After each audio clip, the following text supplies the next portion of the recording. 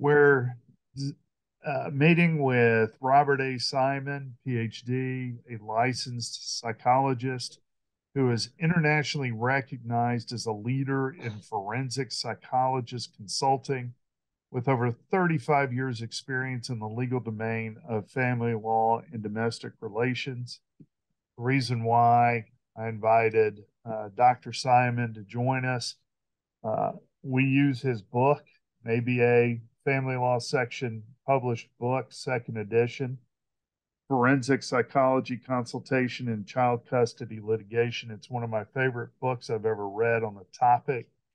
Also, uh, Dr. Simon has been a regular uh, writer on the scene of the ABA family law section, including an article in the most recent uh, edition, which is a mental health primer for family lawyers. I've been personally benefited from his writing over his entire career, having read as much uh, as I could that was published by the ABA family law section and hopefully transmitted a fair amount of expertise into my practice over the decades. Uh, Dr. Simon, what do you love the most about forensic psychology? Well, first, Miles, thank you for having me. It's a privilege to do this, um, and I really, really appreciate and value the opportunity. Thank you for your kind words as well. Um, you know, what I love about what I do is I feel like I am an advocate for a healthier world. I see families as the building blocks of our society. And I understand that families morph and change, and that means that families um, reconfigure, divorce happens.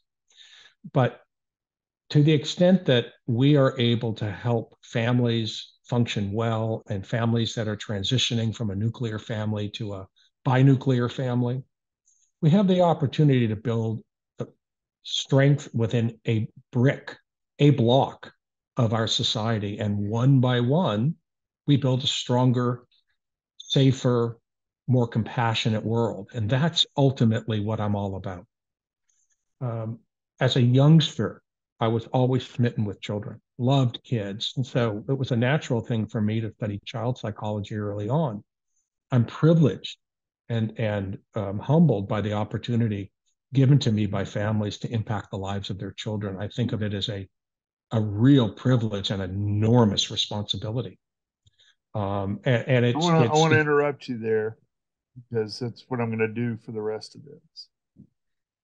Why do you think your personality lines up with accepting that responsibility to make a difference in some of the most difficult situations imaginable. Why does my personality dovetail with that? Um, well, I think that I am a caretaker. I like benefiting other people's lives. Um, and I, I, I feel that there's a special source of goodness and pleasure when you know that something you've done in your life has made somebody else's life easier or better for them. Um, so there's a, it's just, it's just my, I think I was born like that. Um, but in terms of the responsibility piece of it, you know, I think one of the pitfalls for the men and women who do the work I do, because we are decision influencers, we have a direct line to the judge, right? um, is we sometimes become a bit um, um, affectionate of our influence and what we perceive to be our, our power. Um, and um, I see mistakes getting made that way. And instead, I think when we see ourselves as responsible, it holds our feet to the fire and makes us, you know, suit up and show up and earn it every day. Um, and I have found, uh, quite honestly, that um, the more I learn and the more I know and the more experienced I become, the more I realize I have yet to learn and don't know. And that breeds humility. And humility is where responsible people really shine. When you're humble, you take on responsibility. When you're not humble, you take on power. Um, and there's no place in this work for power. I hope you're right. What do you like the least about being a forensic psychologist? Um, I like the least uh, situations, people, and I, when I say people, I mean parents and lawyers who seem to value the dispute and winning the dispute over peace, over just resolution, over compromise. Um, people for whom the issue is not the issue, where staying at odds with other people seems to be what motivates. I find that really frustrating because at the end of the day, all of that conflict and all of that dispute, when it's allowed to fester, does immeasurable harm.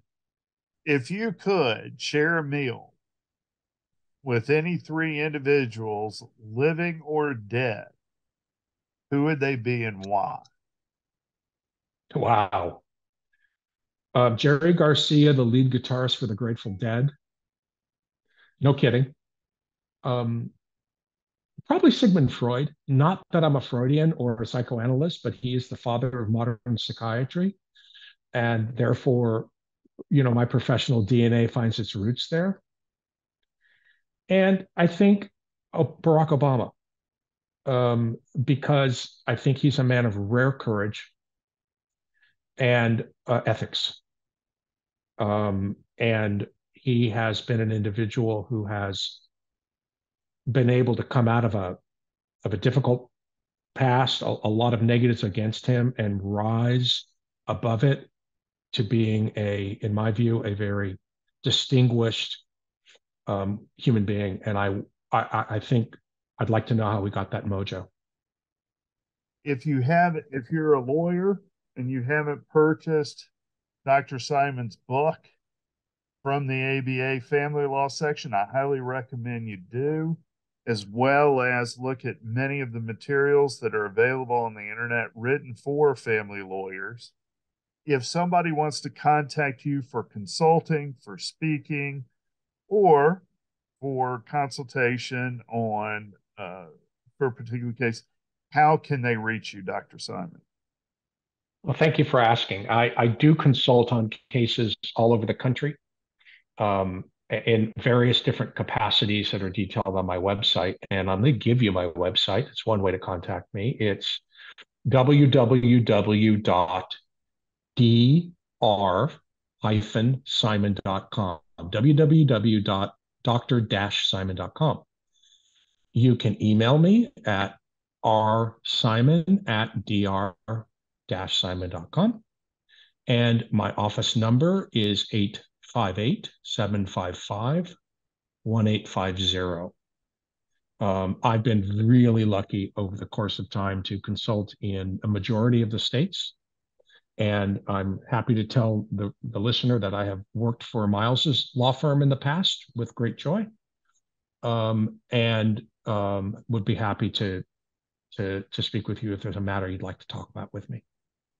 Great. Also, uh, we'll have that information down in the description as well as other uh, aspects. Also, uh, Dr. Simon, your CV is, I believe, 33 pages long and very impressive and uh, uh, much more attractive than mine. And I need to probably hire somebody to make it look as hopefully, you know, it's not as long or as distinguished I'm a but, chronic overachiever. What can I say? Pathological overachiever. right. And that's where, you know, one of the questions I didn't ask was is it uh is there a correlation between success and narcissism? Because um, of the desire for achievement to be loved. Well, I, I think early on in my life, I was driven very much by a need within myself to prove myself to myself. I think now um, my my drive to accomplish things and do things is really honestly comes from a place of wanting to be of service um, and just wanting to make a difference in the world. Um, and it, you know, each of us, everybody's born with a gift.